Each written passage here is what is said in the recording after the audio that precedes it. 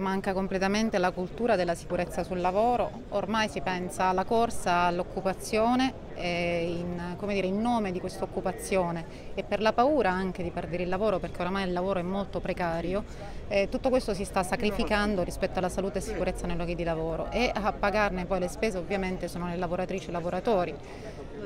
Martedì è stato Tonino, ma purtroppo già da martedì ad oggi continua un bollettino tragico in tutta Italia eh, sulle morti sul lavoro. E soltanto fino ad oggi i morti sono stati quasi 600 quelli ovviamente denunciati, ci teniamo a dirlo, nel 2021 sono stati denunciati più di mille, quasi 1400 eh, infortuni mortali. Io insomma non li chiamo incidenti, sono infortuni perché l'incidente ha un eh, connotato di fatalità, di caso, questo, mm, parlando di eh, sicurezza sul lavoro non ci può essere la fatalità perché è necessario capire che i sistemi di sicurezza che bisogna applicare sulle macchine devono proprio eh, salvaguardare quello che può essere l'errore umano. In questo caso riteniamo che la giustizia, nel caso di Tonino, e come tutti, ma quello rispetto al, a Tonino che è morto nella nostra provincia dentro la metallurgica, riteniamo che la giustizia debba fare velocemente eh, dire, la luce sulle dinamiche dell'incidente.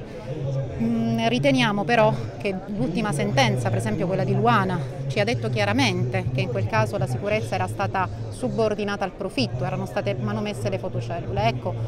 io credo che è necessario lavorare tutti insieme, è necessario eh, dare, fare investimenti, investire, aumentare le risorse per i controlli, per i monitoraggi. Eh, certamente questa cosa la si può fare solo insieme, con le istituzioni, con la politica e con le organizzazioni sindacali, altrimenti purtroppo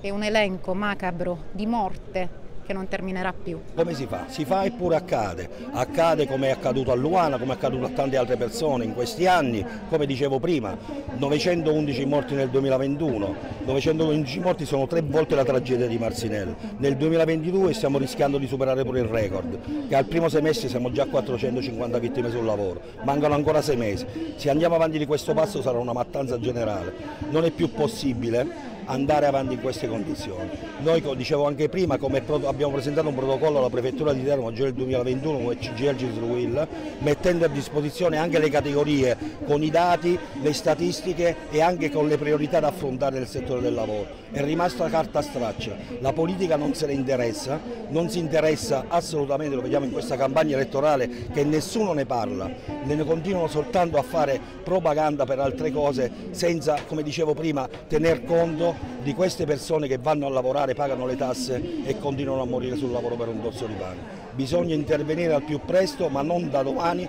già da oggi cominciare ad intervenire seriamente su questa questione. Lo possiamo fare insieme se vogliamo, altrimenti il sindacato andrà per la propria strada e veramente da domani cominceremo a rompere le scatole a tutti e a tutto. La sicurezza non può essere un lusso nel mondo del lavoro, ma deve rappresentare la precondizione per lavorare e riteniamo anche che